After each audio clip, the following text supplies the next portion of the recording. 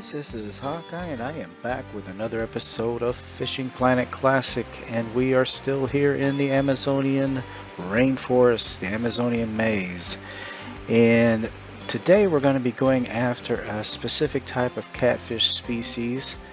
I'm going to go ahead and show you this guy. It is, I'm not sure if I'm pronouncing this right, but it is called, once I find it here, I think it's Sorab sorubim catfish.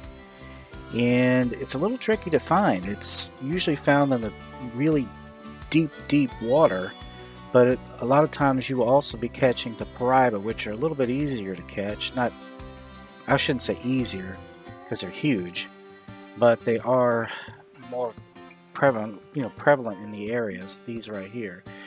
But I have a pretty good spot to catch these guys. I actually found it more by mistake than anything else because I was fishing for a papa and then I managed to catch one of these guys. And I think what I'm going to do is go ahead and show you there. I don't know if there's other places that you can catch them. I'm sure you can catch them off of boats as well. But let me go ahead and show you here real quick. Jump back into the map now you gotta go up to this location. This is the Mboya village and this is where I found them. And it is nighttime during the peak and usually in the late evening and nighttime is the best time to fish for these. They'll go for a lot of different baits but it seems like they will go most for either shine large minnows, the um, I think they call them the Koyu minnows or whatever. I'm not sure exactly what that's called. Let me see if I can get my flashlight going here. But we need to come all the way down here if we're going to get them. I think I might actually have to, nope, right here. There's a boat right here. This is where we stop. And we're going to get them by bottom fishing. My understanding is on YouTube, most of the guys have been doing it on boats and using wagglers, but I managed to catch one without doing that. And since I did, I figured I might as well share it. So what I'm going to go ahead and do is get my line set out here. Now if we check the map here, you will see that I have placed a couple of markers both of these markers. Well, this one I actually caught a piraiba and you could catch those. They are out here too. Like I said before this one I don't I didn't put it as to mark the fish but I did mark the depth or the area. We need to throw in this general vicinity. And I believe it's out a little past 200 feet. So I am going to go ahead and change my bait here probably want at least a 4-aught hook, but I think a 6-aught hook is probably ideal. I'm going to go ahead and throw a shiner on there. I'm going to change this up too. Let's see, I've got 4-aught. We're going to upscale that to a 6-aught. And I think this time I'm going to put one of the large minnows. I do have medium cut bait. They will go for the large cut bait. Let me see. I think there's some other things they will go for too. Some of which I don't have available to me right at the moment. But yeah, the Araku minnows, the dead Lambari fish I can't get. Medium cut bait, as I said before, large cut bait, and large minnows. So, and they do go for the shiners even though they're not listed. It says they'll go for soft baits such as craws, crayfishes, and shads, but I can't from the shore really cast out that far. So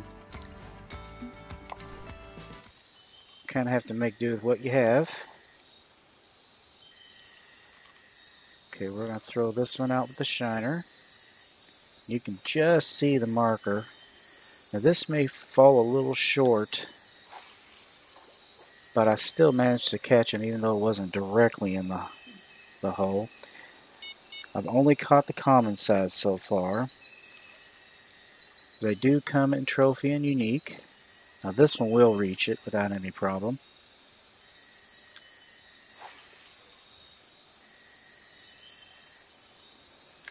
Okay, it was slightly to the right of that, so I'm going to have to cast this next one. No, I don't want semolina balls on there. They, they also went for the clam meat, which really struck me as odd. But the Piraiba really like that too, so if you want to avoid them as much as possible, not that getting them is a bad thing, it's just that they're huge and they tend to take a little while to get in.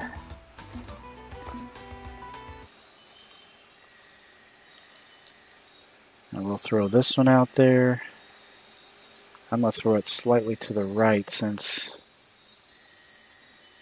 it seemed to go to the right just a little bit. It must be a bit of a breeze.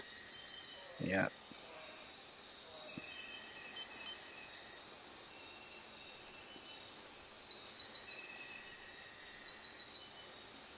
Now, other than the catfish, I really haven't caught much of anything else here.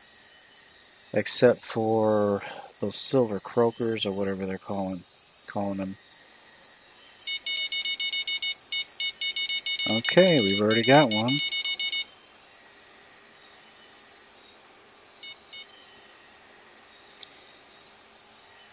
Now this could be, eh, it's probably not one.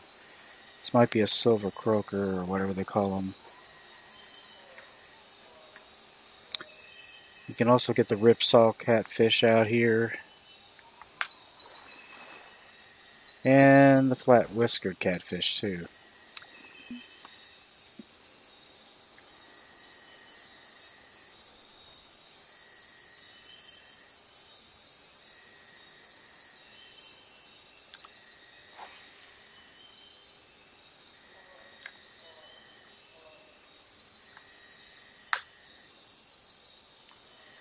Yeah, shiner's all over the place, but I tell you what I might do. I might throw a waggler on here. It Seems like a lot of the... Yep. Too late, we got another one here. Looks like it's the third one.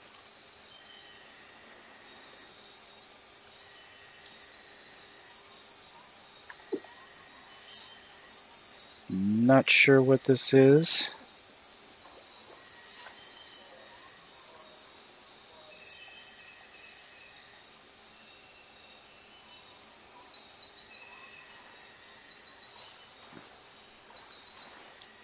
Some kind of... Yeah, that's a trophy silver croaker. Okay, cool. Now that's the first trophy of these guys I've gotten. It is a personal best at this point. And they do come in unique. I don't know what you get for them, but he's almost six pounds. Let's see what he looks like. Yeah, see, he's about a bass-sized fish.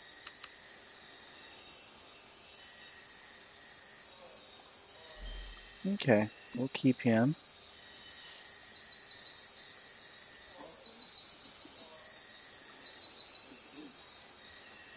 If we can't get these guys tonight, we may have to come back later.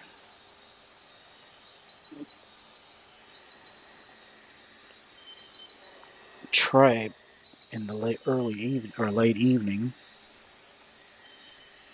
Anyway, let me go ahead and get that waggler set up on. Let me get that. Let me go ahead and get that waggler set up. See, that's the only thing. I've never used a waggler, so I'm not sure if I should use the slider heavy or the waggler X heavy. I think I'll try the waggler X does give me some extension. I'll put the large minnows on here.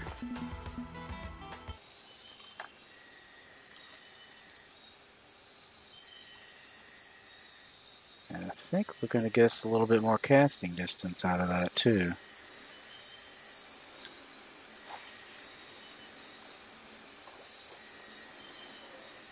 Oh yeah. Wow. Did we ever? Holy crap. I'm not even sure if I can see that. Where did it go?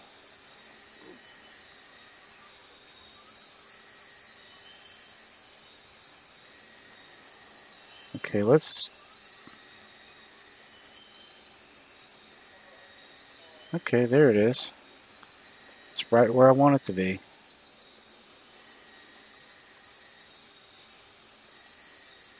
Only problem is I cannot see that sucker. I barely see it. So I'm pretty much going to have to use the right thing on the right as my guide.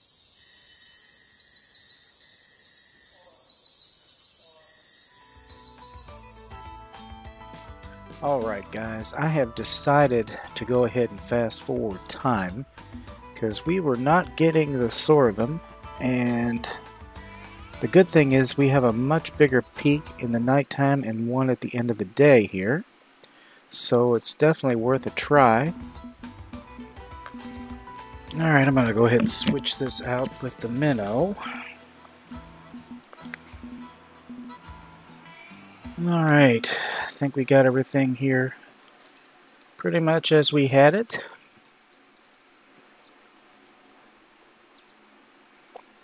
Now that time in between I did not waste. I went ahead and did some serious fishing over in the saltwater area.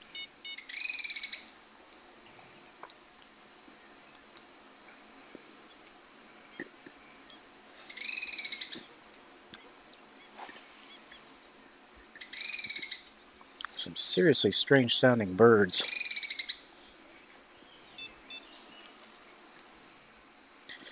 And I have discovered that they do go for the clam meat, which is interesting enough. Alright, looks like we got something here. I'm pretty sure it's a Piraiba. Yeah, you're going to get a lot of Piraiba in this location. I will tell you though, they are definitely a fight until you get into a much higher level. Even for me, and I'm a level 49, they are a serious fight.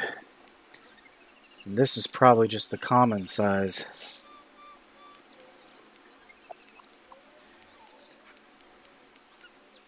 Well, this may take a while, guys. I don't know. He's not budging. Two hours later. Well, we've finally made some headway. Damn, these guys are tough. You definitely have have to have some time investment on these. But they do pay off, honestly, because they do give you a lot of XP and a lot of cash. Just on one fish.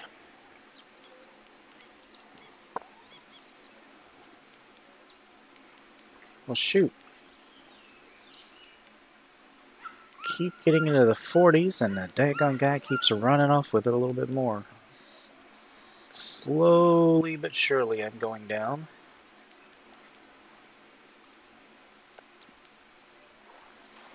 Alright, I think we got him. Yep. There we go. 6 to 154 cash. He's just a regular Piraibas. Piraiba.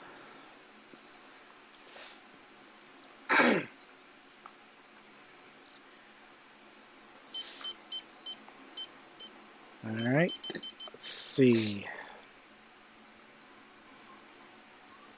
And Whoa! Holy, oh shoot, I'm surprised I didn't break. I was fishing with the waggler and just was re reeling it back in. Something bit at it. I don't know what. Whatever it was, it wasn't too bad of size.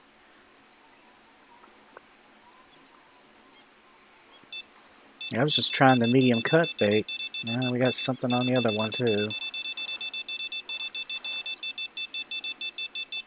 It's so oh cool. Unique silver croaker. There you go, guys.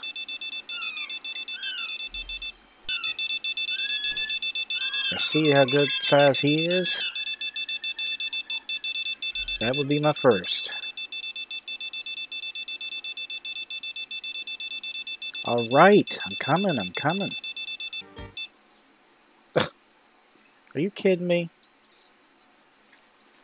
Strike timed out.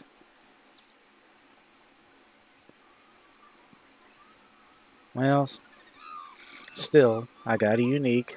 It was probably another Piraiba, which meant I would have been fighting him forever and a day.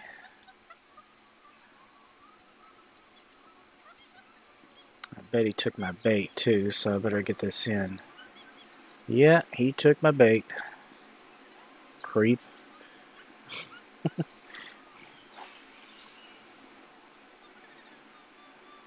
Yeah, even though the strike says timed out, a lot of times they still get your bait, so you might as well just reel it in. Okay, this doesn't... Uh, no, I don't think it's a Piraiba. Could be what we're after.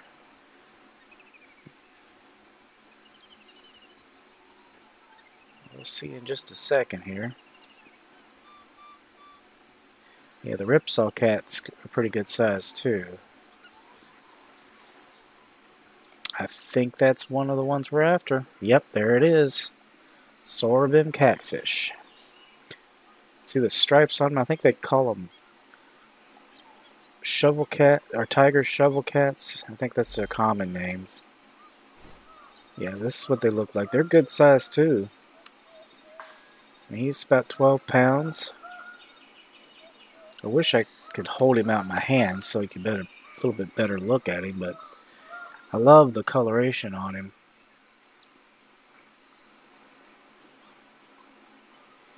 Definitely unusual catfish.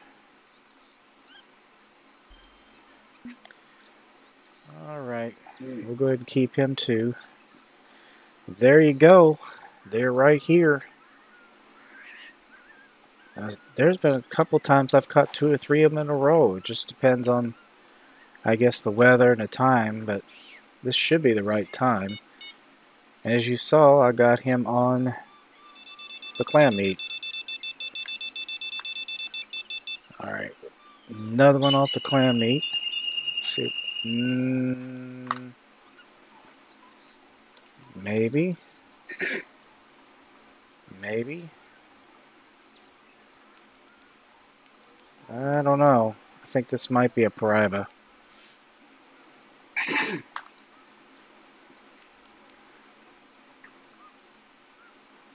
boy, another fight.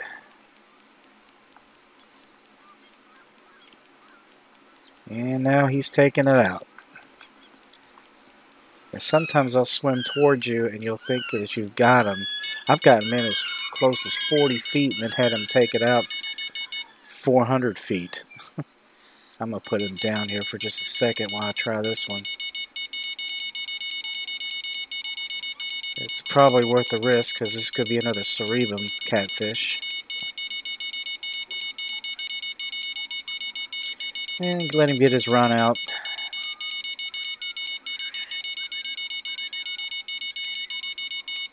Nope, I think this is a ripsaw catfish. Ooh, a trophy one.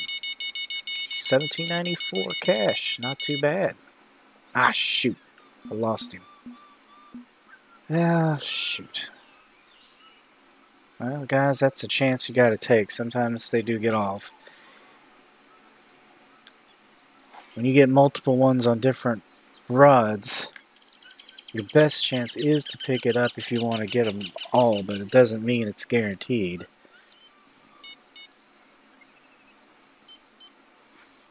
Okay, let's see what we got here off the medium cut bait. Ooh. Are you kidding me?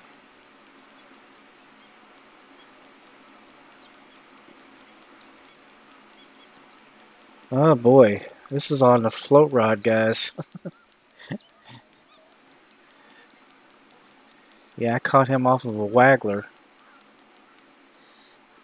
Uh, Oh no, this is going to be a fight if I'm going to continue doing it.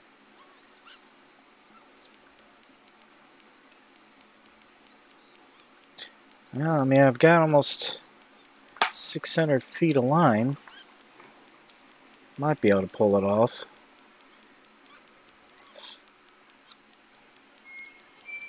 There he goes.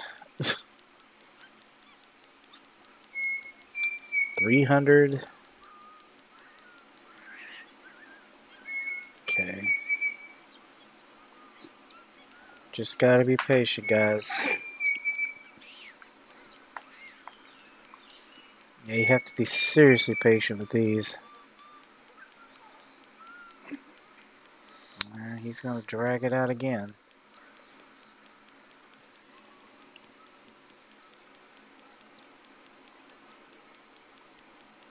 No, he is not even close to letting up on it.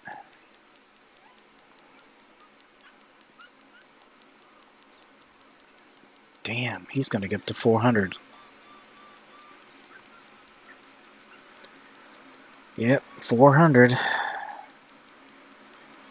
Well, he could very well spool me, guys. It's been known to happen.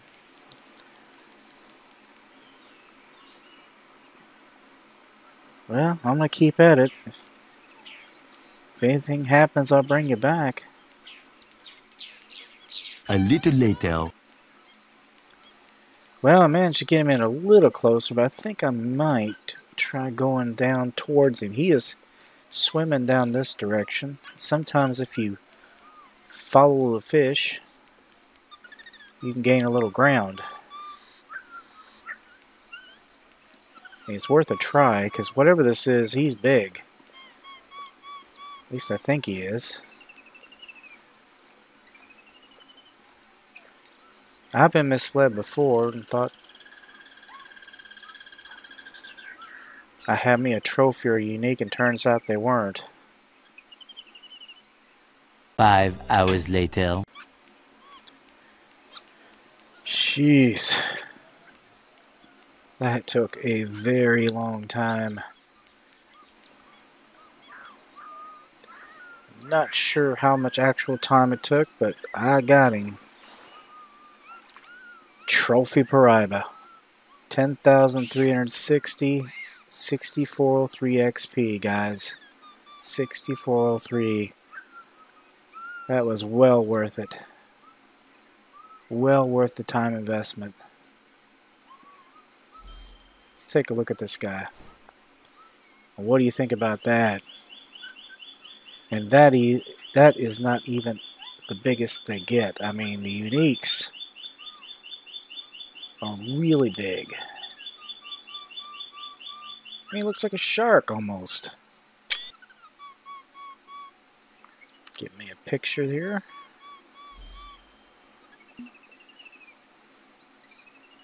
Really did not know they came that big over here. Well, now I gotta get all the way back. yeah, I had quite a few strikes ended over here because the fish got off of him while I was fighting him, but I was not going to give him up this time. Let's go ahead and get our lines back out there. Well, guys, I hope you enjoyed this episode. Please be sure to share, comment, like, subscribe, and I will be back with another episode of Fishing Planet Classic. Until then, I'll see you later. Bye-bye.